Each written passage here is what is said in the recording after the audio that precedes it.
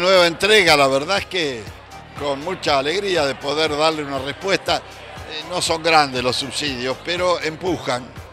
Eh, a veces a un jubilado, a un centro de jubilados le cuesta mucho juntar unos pesitos.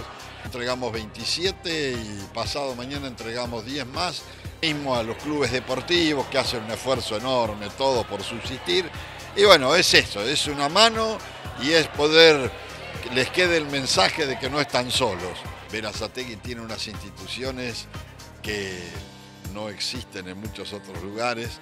Tenemos un tejido social trabajando ese famoso tercer sector de la sociedad que es imprescindible para que una sociedad crezca. Nosotros conocemos que viene acompañando, pero bueno, siempre, siempre falta más y bueno, profundizar la ayuda está muy bueno, así que desde ya agradecerle, somos el cinturón hortícola que produce la verdura fresca de la zona, así que contento.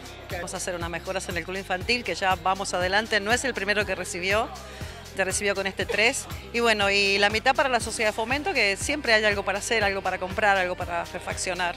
Eh, mejorar el, barrio para los vecinos es muy bueno, que el vecino tenga un lugar donde festejar un cumpleaños, un 15, y que los chicos del club tengan un lugar este, decente, eh, pero humilde, donde, donde estar los domingos, y bueno, es gratificante.